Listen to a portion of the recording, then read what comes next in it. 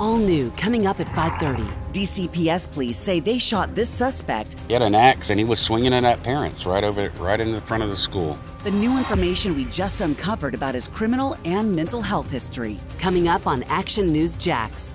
Local coverage you can count on.